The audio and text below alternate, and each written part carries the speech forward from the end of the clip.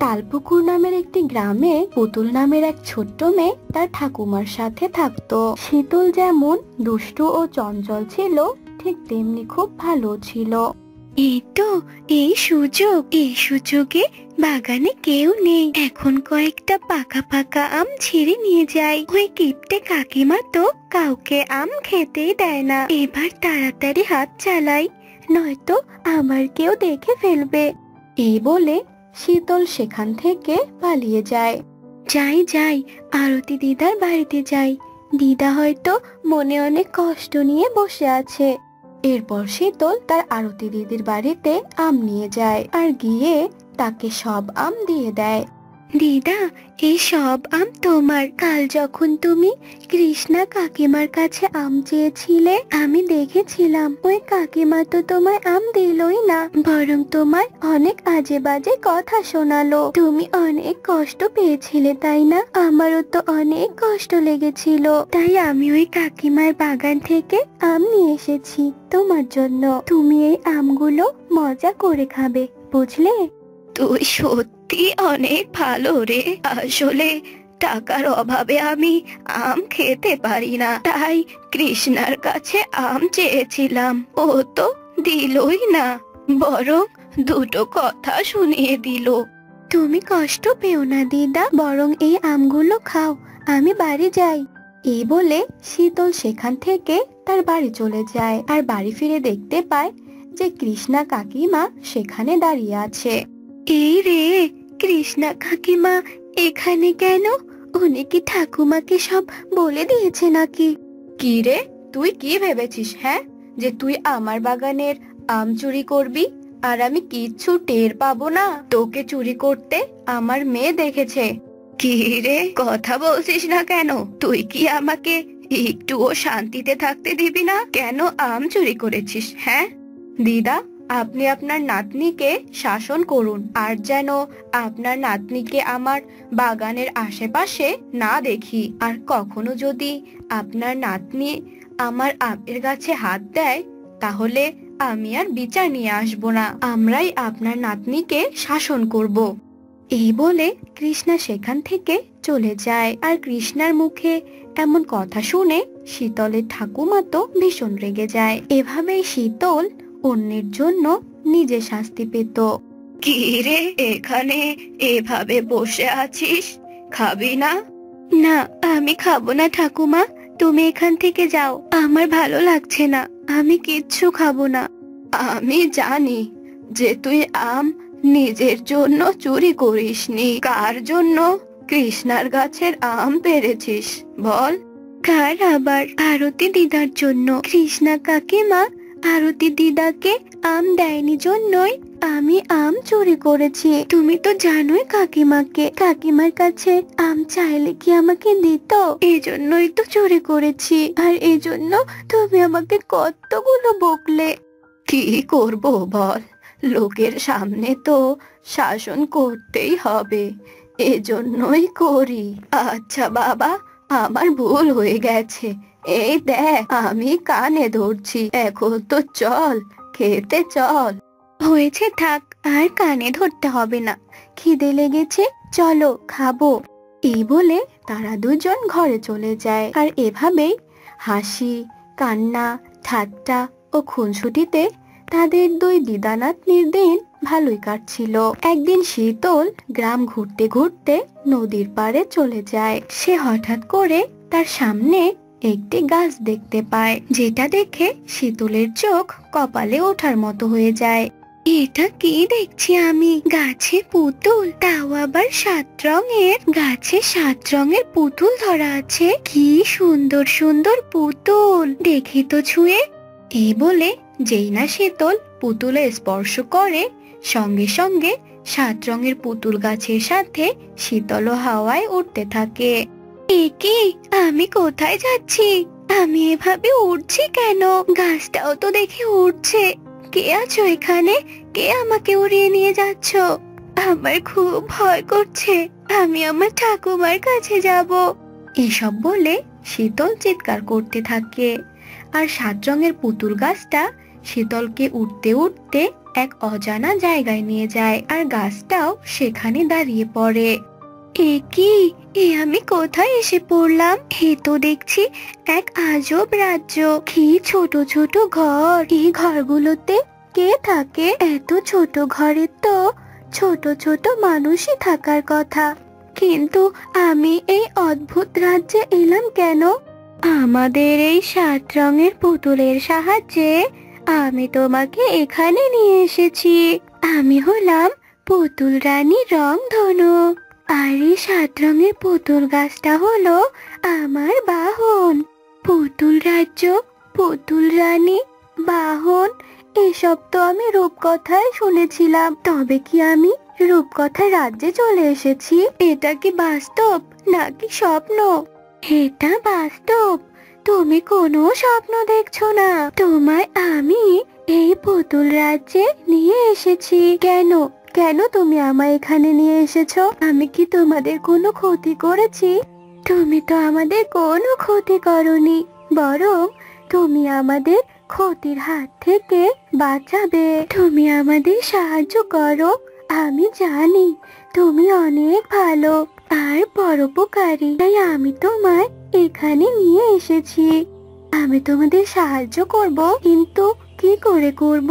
আমি তো তোমার কথা কিচ্ছু বুঝতে পারছি না। এখানে দক্ষিণে একটি গাছ আছে, আর ওই গাছে অনেক রঙিন পুতুল আছে। তোমায় ওই পুতুলটা আমাদের এনে দিতে হবে। আসলে ওই পুতুলটা পাহারা দেয় এক রাক্ষসী, আর ওই গাছটাও মায়া করা। তাই আমরা কেউ সেখানে যেতে পারি না। তাই তোমায় এখানে নিয়ে এসেছি। তুমি কি চুপি চুপি করে ওই রঙিন পুতুলটা আমাদের এনে দিতে পারবে। হ্যাঁ কেন পারব না? অন্যের ভালোর জন্য আমি সব করতে পারি। আর চুরি করা, এটা তো আমার বা হাতের খেল। আমি কৃষ্ণা কাকিমার বাগান থেকে কত ফল চুরি করেছি। আর ওই রঙিন পুতুল আনতে পারব না? ঠিক পারব আমি। তুমি এবার আমায় ঠিক করে পথটা বলে দাও তো দেখি। এরপর পুতুল শীতলকে পথ বলে দেয়। আর শীতল ওই পথ অনুযায়ী গাছের কাছে পৌঁছে যায় আর গিয়ে দেখে রাক্ষসী সেখানে কড়া পাহারা দিচ্ছে। এই বলে শীতল গাছের দিকে একটি জোরে ঢিল ছুঁড়ে মারে আর রাক্ষসী সেই শব্দ শুনে সেই দিকে চলে যায়। আর এই সুযোগে শীতল গাছ থেকে রঙিন পুতুলটা নিয়ে নেয় আর পুতুল নিয়ে তাড়াতাড়ি করে পুতুল রানীর কাছে চলে আসে। এই নাও তোমার রঙিন পুতুল, আমি নিয়ে এসেছি। তোমায় অনেক ধন্যবাদ, তুমি সত্যি অনেক ভালো। তুমি জানো না, তুমি আমাদের কত বড় উপকার করলে। এরপর পুতুল রানী জাদু করে সেখানে একটি পুতুল প্রকট করে আর সেই পুতুলটি শীতলকে দেয়। এটা তোমার উপহার। এই পুতুলটা তোমার সব ইচ্ছে পূরণ করবে। সাত রঙের পুতুল গাছ, যা ওকে ওর গ্রামে পৌঁছে দে। শীতল, তুমি যাও, ওই গাছটা আবার স্পর্শ করো। এরপর শীতল ওই সাত রঙের পুতুল গাছ স্পর্শ করে, আর সাত রঙের পুতুল গাছটা আবারও উঠতে শুরু করে। আর উঠতে উঠতে শীতলকে তার গ্রামে পৌঁছে দেয়, আর সে আবারও পুতুল রাজ্যে ফিরে যায়। বুঝতে হবে না। এসব কথা বলে যেই না নাগ ওই ডিমটার কাছে যায়, অমনি সেই ডিমটা ভেঙে একটা বাজ পাখি বের হয়। আর বাজ পাখিটি বড় আকার ধারণ করে নাগরাজকে আক্রমণ করে। তবে কিনা শেষ পর্যন্ত তুই আমার ফাঁদে পা দিলি হ্যাঁ? আমি তো অনেকদিন আগে থেকেই তোর পেছনে পড়ে আছি, কিন্তু আমি কিছুতেই তোর শক্তিশালী মনি নিতে পারছি না। আজ তো আমি তোকে ধরে ফেলেছি, আর আজ আমি তোর মনি নিয়ে ছাড়বো। তোর এই মনের ইচ্ছে কোনোদিনও পূরণ হবে না বাজ পাখি। আমি তোকে কোনোদিনও আমার মনির সন্ধান দেব না। কি? তুই মনির সন্ধান দিবি না তো? আচ্ছা ঠিক আছে। তবে তো আমি আজ তোকে ছোকরাতে ছোকরাতে একদম মেরেই ফেলব। তুই যতই আমাকে ভয় দেখাস না কেন আমি কিছুতেই তোকে মনির সন্ধান দেব না। কারণ আমি জানি তুই আমার মনির অপব্যবহার করবি। কি? তুই কিনা আমার কথা শুনবি না? তবে ব্যাটা নাগ দাঁড়া তুই। একে কি শয়তান বাজ পাখিটা এভাবে নাগরাজকে আক্রমণ করছে কেন? তবে তো আজকে আর নাগরাজের রক্ষে নেই। যাই, যে করি হোক, নাগরাজকে আমায় উদ্ধার করতে হবে। এই এই শয়তান বাজ পাখি তুই কেন এভাবে নাগরাজকে আক্রমণ করছিস বলতো? এই, ছেড়ে দে ছেড়ে দে বলছি নাগরাজকে, ছেড়ে দে। নইলে কিন্তু আমি তোর রক্ষে রাখব না। এই বলে দিলাম। এই পরে এই তুই আবার আমাদের দুজনের মাঝে কেন এসেছিস হ্যাঁ? তুই চলে যা চলে যা এখান থেকে। আর তোর সাহস তো কম নয়। তুই কিনা আমাদের মাঝে এসে কথা বলছিস? বলি তোরও কি আমার ধারালো ঠোঁটে ঠুকুর খাওয়ার ইচ্ছা আছে নাকি বলতো? কি? তুই একটা সাধারণ বাজ পাখি হয়ে কিনা আমাকে ভয় দেখাচ্ছিস? বুঝেছি। এবার তো তবে তোর একটা ব্যবস্থা আমায় করতেই হবে। ওরে বাবারে এই পরীর তো দেখছি অনেক শক্তি। না সময় থাকতে তাড়াতাড়ি প্রাণ নিয়ে পালাই। তোমায় অনেক ধন্যবাদ গো পরি। তুমি সময় মতো না এলে হয়তো ওই বাজ পাখি আজকে আমায় মেরেই ফেলতো। যেভাবে আমায় ও আক্রমণ করেছিল, তোমায় অনেক ধন্যবাদ গো পরি। তোমায় অত ধন্যবাদ দিতে হবে না গো নাগরাজ, তোমায় যে আমি ওই বাজ পাখির হাত থেকে বাঁচাতে পেরেছি, সেটাই তো অনেক। কিন্তু তোমার শরীরে তো অনেক ক্ষত, আর তোমায় তো সুস্থ করা দরকার, বলো। এ কি কাণ্ড? আমার শক্তি তোমার উপর কাজ করছে না কেন? আর আমি তোমার ক্ষতই বা কেন সরাতে পারছি না? আসলে আমার শরীর যে মন্ত্রভূত করা আছে গো, আমার শরীরের ওপর কোনো জাদু শক্তি কাজ করবে না। তবে যে ভারী মুশকিল, আর আমাকেও তো তোমার ক্ষত সারাতে হবে, আর তাতে যে অনেকটা সময় লেগে যাবে, তাছাড়া তুমি তো আবার এ অবস্থায় নাগরাজে ফিরতেও পারবে না। এটা তুমি একদম ঠিক বলেছ। তাছাড়া এখানে থাকলে তো ওই বাজ পাখি আমাকে পুনরায় আক্রমণ করবে। তাই তো? তবে নাগরাজ তুমি বরং আমার সঙ্গে আমাদের পরিরাজ্যে চলো। যতদিন না অবধি তুমি সুস্থ হচ্ছ ততদিন তুমি পরিরাজ্যেই থাকবে। কেমন? সত্যি তুমি আমায় ভরসা দিলে। আর এমন স্বস্তি শুধুমাত্র বন্ধুরাই দিতে পারে। তবে আজ থেকে তুমি আমার বন্ধু পড়ি এরপর পরি নাগরাজকে নিয়ে পরিরাজ্যে ফিরে যায়। আর বাজ পাখি আড়াল থেকে বেরিয়ে এসে আবারও পরিতে পরিণত হয়।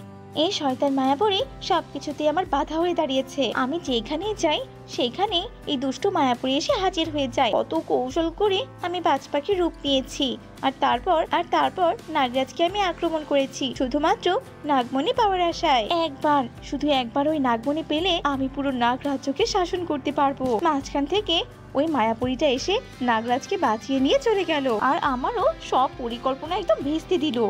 আরে বাহ তোমার কক্ষটা তো দেখতে ভারী সুন্দর। এখানে এসেছে আমার প্রাণটা একদম জুড়িয়ে গেল। ও মা তাই নাকি? তবে তোমাকে যে এখানে লুকিয়ে থাকতে হবে নাগরাজ। কারণ আমার মা রানীপুরি যদি তোমাকে একবার দেখতে পায় তবে যে বেশ বিপদ হয়ে যাবে নাগরাজ। তবে তুমি আমাকে এখানে কেন নিয়ে এলে? আমি যাই না। আমার জন্য তোমার কোনো বিপদ হোক কারণ তুমি যে আমার বন্ধু। অত ভেবো না তো তুমি শুধু লুকিয়ে থাকলেই হবে। এবার তুমি চুপটি করে থাকো আর আমি তোমার শরীরে জড়িবুটি লাগিয়ে দিচ্ছি। এরপর মায়াপুরি জড়িবুটি লাগিয়ে দেয় আর এদিকে মিষ্টি পরি পরিরাজ্যে ফিরে আসে। ঠিক তখনই রানীপুরীর সঙ্গে মিষ্টি পরির দেখা হয়ে যায়। মা মিষ্টি পরি বলছি তুমি কোথা থেকে ফিরলে? বলছি মা তুমি কি জানো মায়াপুরি কোথায় আছে? কোথায় আর যাবে মা? নিশ্চয়ই তোমার মেয়ে পৃথিবীতে গেছে। তোমার মেয়ে তো পৃথিবী ছাড়া আর কোনো জায়গায় ভালো লাগে না। আমিও সেটাই ভাবছি। আসলে মায়াপুরীর হঠাৎ হঠাৎ পৃথিবীতে যাওয়া নিয়ে আমার যে বড্ড চিন্তা হয়, আজ আমি মায়াপুরীর একবার দেখা পাই, তারপর আমি ওকে খুব বকবো। উফ, মায়াপুরীকে নিয়ে মায়ের এত বাড়াবাড়ি, আর ভালো লাগে না আমার। মায়ের এত চিন্তা ভাবনা দেখে তো আমার মনে হচ্ছে, মা ভবিষ্যতে মায়াপুরীকে রানী করবেন। কিন্তু আমি এটা কিছুতেই হতে দেব না। আমি মায়াপুরীকে আমার পথ থেকে সরিয়ে আমি হব ভবিষ্যৎ রানী। মায়াপুরী এই দেখ, আমি তোর জন্য পায়েস রান্না করেছি। বলি, তুই পায়েস খাবি না? খাব না কেন? তুই তো আমার বোন। আর তুই আমার জন্য এত কষ্ট করে পায়েস বানিয়েছিস, আমি কি না খেয়ে পারি? বল। বলি, দু বোনে মিলে তোমরা খাচ্ছটা কি? আমার কথা কি তোমরা ভুলে গেছো? ও মা, এই তো দেখছি পায়েস। মায়াপুরি দাও আমার হাতে। পায়েসের স্বাদটা আমি আগে গ্রহণ করি। এসব কথা বলে রানীপুরি মায়াপুরীর হাত থেকে বাটিটা নেয়। আর ঠিক তখনই নাগরাজ আড়াল থেকে বেরিয়ে রানীপুরীর পায়ের উপর দিয়ে যায়। আর সাপের স্পর্শে রানীপুরি কেঁপে উঠে বাটিটা ফেলে দেয়। এ কি এ কি? পরিরাজ্যের সাপ? এই সাপ আবার এখানে? কোথা থেকে এলো? আমি এক্ষুনি এই সাপটাকে হত্যা করব। মা না তুমি দয়া করে এই কাজ করো না মা। ও হলো নাগরাজ। ও যে আমার বন্ধু। দয়া করে তুমি এমন দয়া করে তুমি এমন কাজ করো না মা। আমি যে ওকে পরিরাজ্যে নিয়ে এসেছি। কি? পরীর বন্ধু কিনা? নাগরাজ? কেন মায়াপুরে কেন? তুমি জানো না? পৃথিবীর কোনো প্রাণীরা আমাদের সঙ্গে বন্ধুত্ব করতে পারে না আর আমাদের রাজ্যেও আসতে পারে না। ওরা যে সবসময় আমাদের জন্য ক্ষতিকর। আমাকে আপনি ভুল বুঝছেন রানীপুরি আমি কখনোই আপনাদের কোনো ক্ষতি করতে চাইনি। আসলে ওই পায়েসে বিষ ছিল আর আমি বিষের গন্ধ পেয়েই আপনার সামনে আসতে বাধ্য হলাম। আমার কথা বিশ্বাস না হলে আপনি পরীক্ষা করে দেখুন। এসব তুমি আবার কি ভুলভাল কথা বলছো, নাগরাজ? নাগরাজ যে কিছুতে মিথ্যে কথা বলতে পারে না, মা। তুমি একবার পরীক্ষা করেই দেখো। এইসব আবার কি? পায়েসে বিষ কেন? তোমরা আমাকে ক্ষমা করে দাও।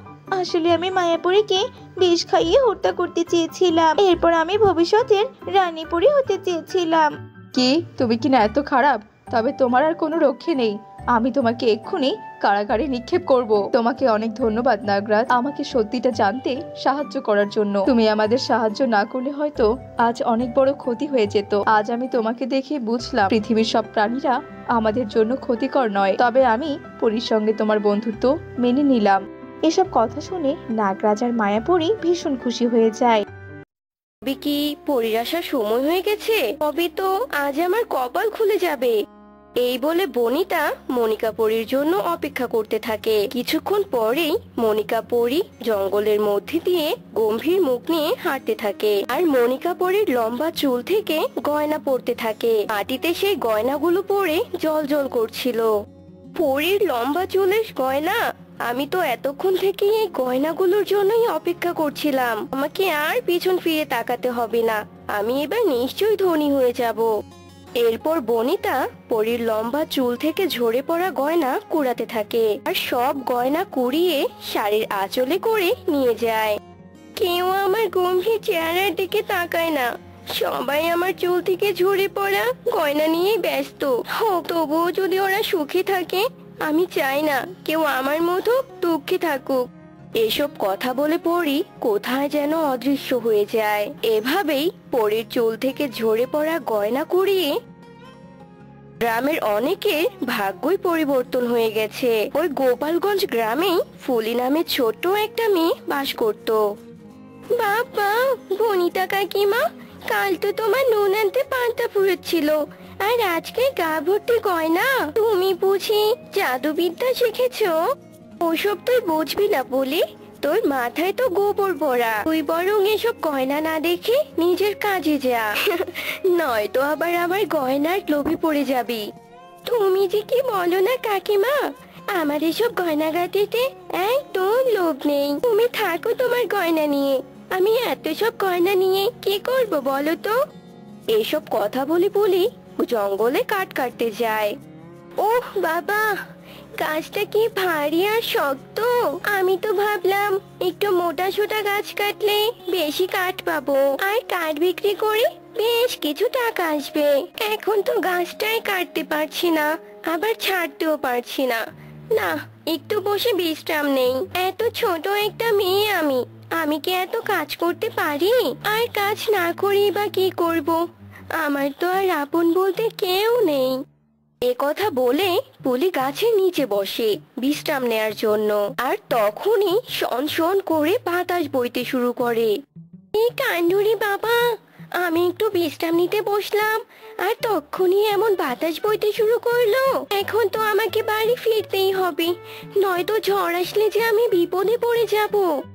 ফুলির কথা শেষ হতে না হতেই মনিকা পরীর লম্বা চুল মেলে ফুলের সামন দিয়ে যায়। মনিকা পরীর চুল থেকে ঝরে পড়া গয়না রাস্তার উপর চকচক করতে থাকে।